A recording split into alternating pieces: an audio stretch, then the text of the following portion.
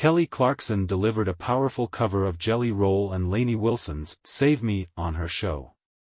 Her heartfelt performance earned praise from Jelly Roll himself, who called it an honor. The song, originally a solo track by Jelly Roll, became a hit after a duet with Lainey Wilson.